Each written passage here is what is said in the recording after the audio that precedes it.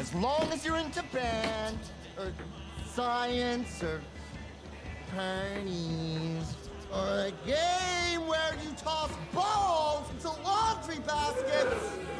You want something, freak?